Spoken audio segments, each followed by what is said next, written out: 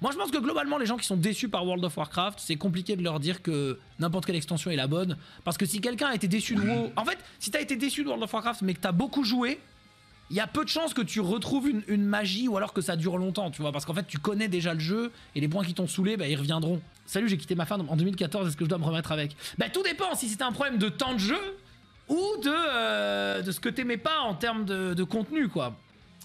De gameplay.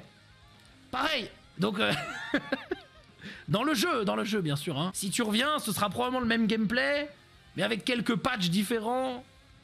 C'est non. Hein? Le gameplay. Problème de graphisme. Ah, c'est vrai que le, le moteur du jeu a peut-être mal vieilli, tu vois. Le, mo- le, le moteur a peut-être mal vieilli, mais peut-être qu'il a bien vieilli. Eh, des fois, il y a certains... Franchement... le moteur du jeu a peut-être bien vieilli. Des fois, ça vieillit bien, le, moteur des, jeux. On parle des jeux, bien sûr. hein. Je me désolidarise. Peut-être les devs ont appris de leurs erreurs. Oh non.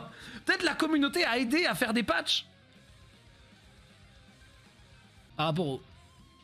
Dans, dans le jeu... Non mais... non mais ce que je veux dire c'est que... Non mais attendez Parce que là... Non Attendez Non mais parce que... Attendez, attendez, attendez, attendez, attendez. Attendez. En fait... C'est juste parce que... Les gens changent en fonction de ce qu'ils vivent, donc peut-être qu'en ayant fait des rencontres et des expériences, la personne est devenue meilleure.